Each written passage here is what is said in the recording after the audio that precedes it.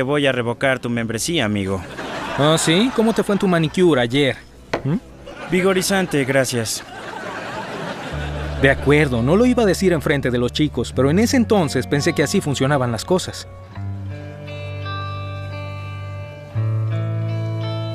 Van tú y la chica que te gusta a un lugar romántico. Las estrellas se alinean y ¡Shazam!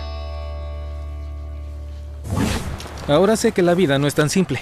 Ah, hola, Claudia. Sí, quiero extracto de vainilla. ¿Cómo que lo anotó mal? No, no, no, no, no, escúcheme. Si el día de mi boda el pastel no tiene extracto de vainilla, iré a su pequeña y estúpida tienda y la quemaré. Ay, ¿quieres saber si bromeo? Ya verá. Hola. ¿Cómo va todo? Ay, pues mi boda es en dos días, así es como va todo. Ah, Descuida, saldrá bien, estoy emocionado. No lo dudo, irán muchas chicas solteras. Ah, bueno, yo iré con una chica, así que no estaré disponible. ¿Qué? Iré con una chica. No irás con una chica. Claro que sí. Ah, claro que no. Anoté dos personas. No lo hiciste. Ah, Claudia, estoy seguro que sí lo hice. Ya te dije que no anotaste a dos personas y no llevarás a nadie a mi boda.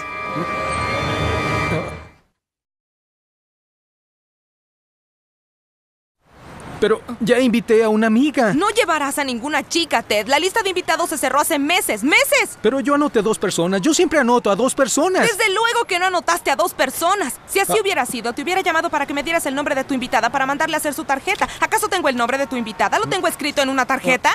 No necesita una tarjeta. Ella sabe su Ay, nombre. ¿qué va a comer? Tú quisiste pollo, ¿ya qué pidió? ¿Ves cómo tu historia está llena de hoyos? Ah, vamos, Claudia. Tú y yo nos conocemos bien. Debe haber lugar para una persona. No me hagas lastimarte, Ted. No lo puedo creer. Claudia enloqueció. Y para ser justos, es sexy. Anoté a dos personas. Estoy seguro. Sí, claro. Lo hice. No creo que lo hayas hecho. ¿Sabes por qué? Porque en el fondo no quisiste ir con alguien a este evento. Ah. Respecto a lo que dices sobre estar listo para una relación, es mentira, sigue soltero. Es una trampa que te pones. Ted, ¿sabes qué hay detrás de tu mente? Ahora oiremos al pequeño Barney. Detrás de esa cortina, en ese lugar oscuro y pequeño controlando todos tus movimientos, Un pequeño Barney.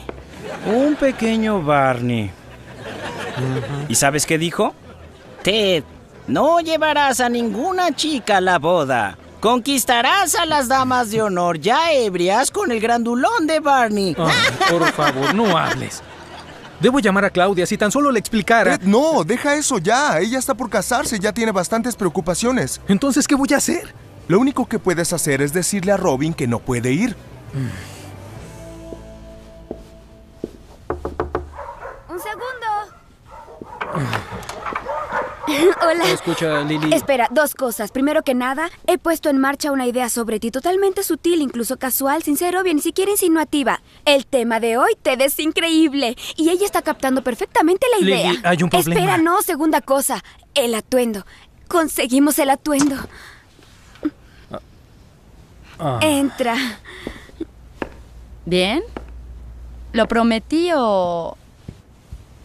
Lo prometí, sí, lo prometí. Vaya.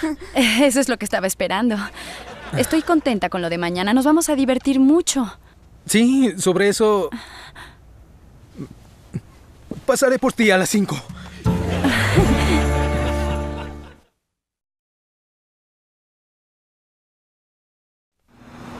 Dime, ¿te gustó? No puedo llevar a otra persona. ¿Qué? Me encontré a Claudia y me dijo que no anoté a dos personas en la tarjeta. ¿Por qué no anotaste dos? Anoté a dos personas. Pero Robin está emocionada. Lo sé, ¿Y el atuendo? lo sé. Ah. De acuerdo, entonces tenemos que escabullirla. No podemos escabullirla, no somos ninjas. Ah, quisiera que fuéramos ninjas. Lo sé. Le puedes preguntar a Stuart. ¿Es en serio? Claro. Ustedes son amigos desde hace años.